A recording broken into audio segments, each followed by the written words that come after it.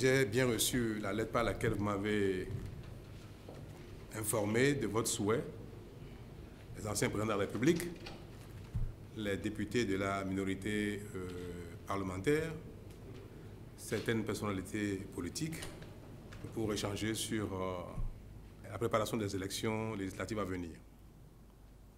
Je me suis empressé de vous répondre favorablement sur une question aussi importante.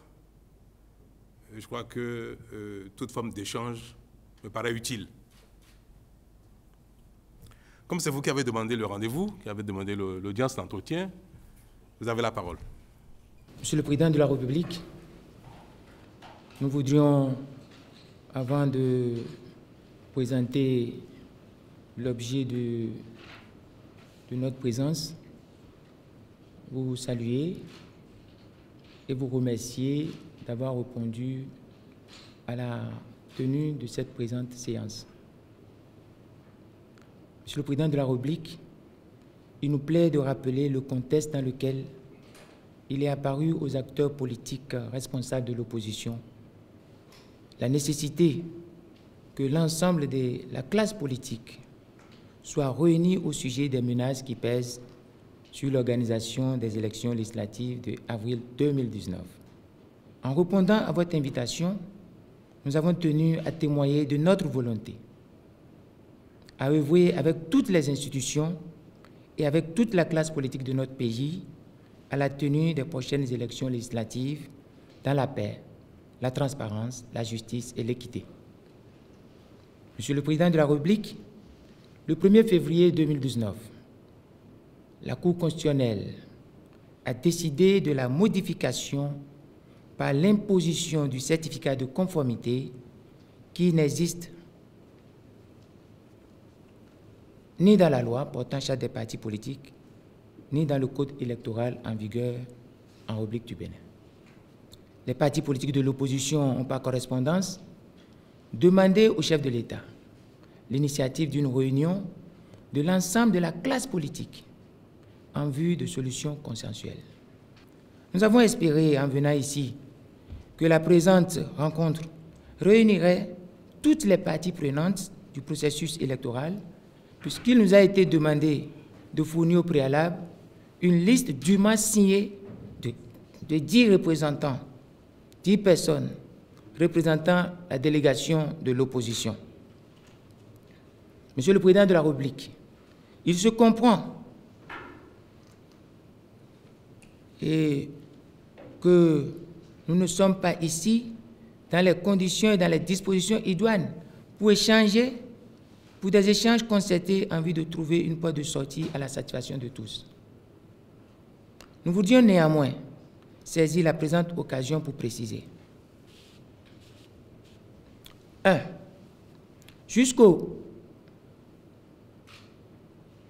18 février, date où les partis politiques de l'opposition se sont vus obligés de tirer la sonnette d'alarme. Nous étions à deux jours du démarrage du dépôt des dossiers sans qu'aucun parti politique ne soit situé sur son statut juridique. Bien que fort de notre existence juridique et malgré l'accompagnement des formalités de mise en conformité, nous étions donc capables à cette date de savoir dans notre pays les partis politiques pouvant se présenter aux élections et présenter des candidats aux élections législatives. Mais curieusement, personne ne savait parmi nous quels étaient les partis politiques qui avaient un statut juridique conformément aux déclarations antérieures et de la Cour constitutionnelle et la déclaration du ministre Sakalafia, ministre de l'Intérieur, devant la presse au cours d'une conférence de presse, nous ne savions pas et nous étions à deux jours. Le quitus fiscal n'est pas disponible pour la majorité des candidats. Le 21 février, le ministre de l'Intérieur a choisi de délivrer au seul parti de la mouvance, au seul parti de la mouvance, leur récépissé provisoire suivi du fameux certificat de conformité. Si vous maintenez dans vos dossiers en l'état des documents qui constituent à la limite même délits, qui sont de fausses déclarations, ne demandez pas à l'administration de fermer les yeux là-dessus.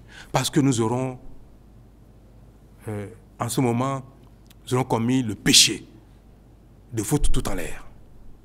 Parce que nous avons donné la preuve que ce qu'on attend de nos concitoyens ordinaires, nous l'attendons pas de ceux qui sont appelés à diriger le pays. On ne peut pas accepter que quelqu'un qui aspire à être parlementaire, à présider l'Assemblée, à être ministre de la République, à désigner des ministres au gouvernement, fournisse à l'administration des dossiers avec du faux. Mon ambition est de procéder aux réformes qui sont nécessaires pour notre pays, y compris la réforme du système partisan. Nous avons donc entrepris de mettre en place un nouveau mécanisme qui force un peu la main aux acteurs politiques pour se regrouper. C'est pour ça que j'ai adhéré à la proposition de loi qui euh, a abouti au vote de la charte sur les partis politiques, la nouvelle charte.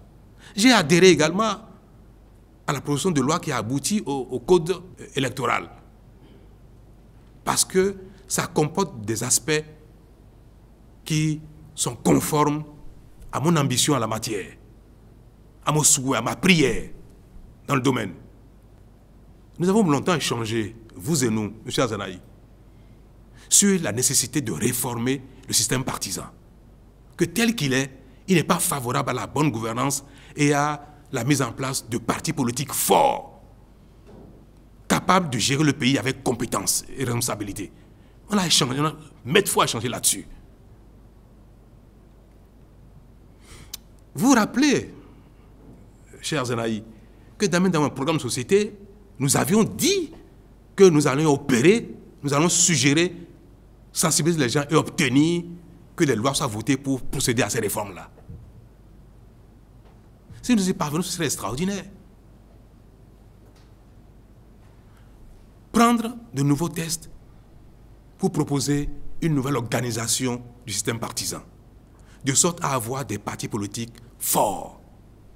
L'absence éventuelle des partis politiques de l'opposition que vous représentez aux élections législatives à venir. Je souhaite que ce ne soit pas ainsi. Mais cela dépend exclusivement de vous. Personne ne peut forcer la main à un parti politique pour aller aux élections. Les dispositions à satisfaire pour aller aux élections relèvent également de votre volonté, de votre disponibilité et de votre volonté de remplir ces conditions. Je voudrais vous prier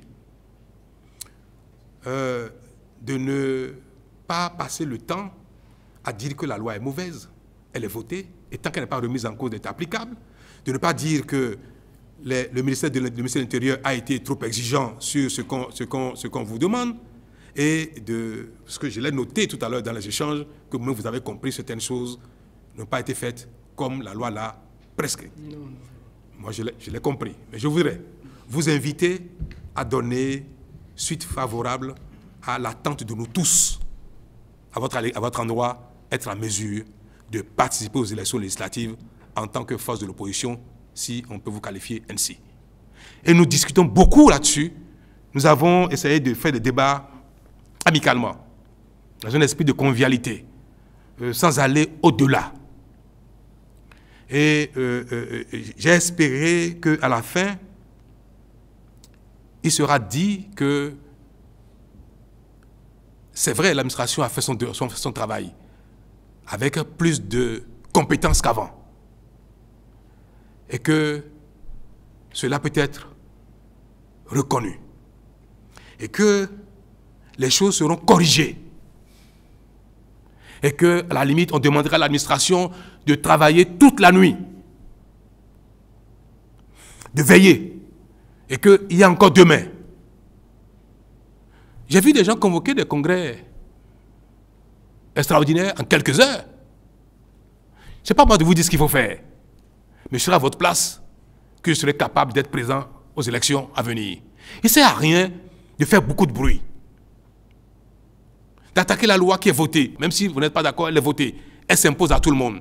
Parce que si vous voulez vraiment aller aux élections, vous avez les moyens d'aller aux élections. Il ne faut pas faire exprès de décrédibiliser l'action gouvernementale, en disant c'est sous lui qu'il y a une élection où aucun parti d'opposition n'a compéti. Mais je serais malheureux de constater qu'il n'y a pas de parti d'opposition. Je ferai toutes les prières qu'il faut pour que ce ne soit pas ainsi, pour déjouer votre plan. Peut-être que vous faites exprès. Mais il faut plus que ça, moi, pour me démotiver.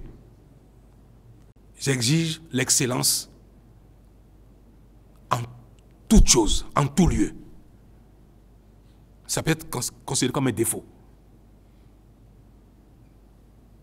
Mais je sais que l'exigence de l'excellence est pour nous le seul moyen de changer le sort de notre pays. Ça va autant pour les policiers, pour les enseignants, pour les médecins, que pour les dirigeants politiques.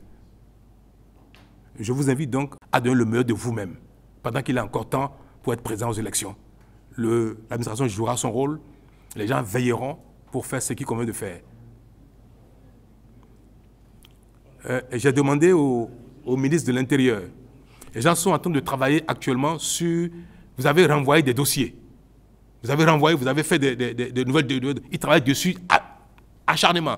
Et je voudrais que les réponses qui sont parties, qui partiront ce soir, qui partiront demain, qui partiront jusqu'à demain soir, soient de nature à permettre à tous ceux qui veulent aller aux élections d'y aller parce qu'ils ont satisfait aux exigences de la loi.